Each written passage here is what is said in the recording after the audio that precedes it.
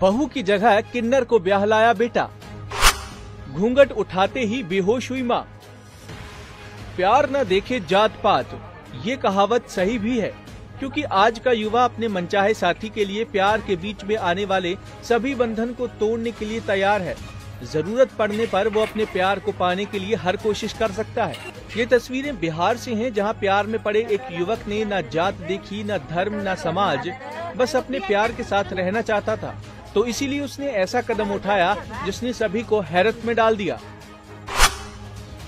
बहू बनकर घर आई किन्नर।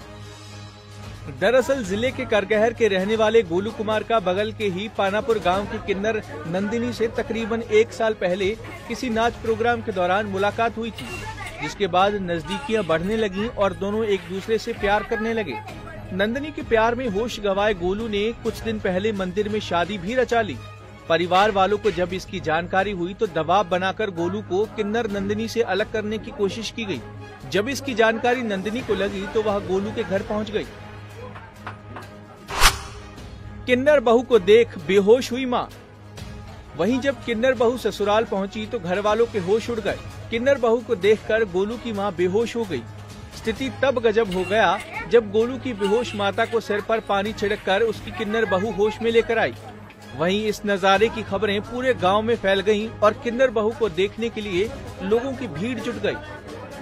ये नाशपति में रहते थे आ, उसी में रहते रहते एक घर पे आते थे यहाँ एक आदमी दूसरे के घर। वो सही संबंध हो गया नाच यहाँ नाच होता था वो सही शादी कर लिया।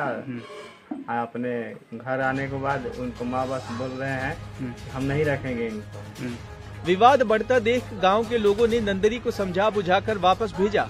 वहीं पूरे गाँव में ये चर्चा है कि आखिर किन्नर कैसे किसी की पत्नी बनकर रह सकती है।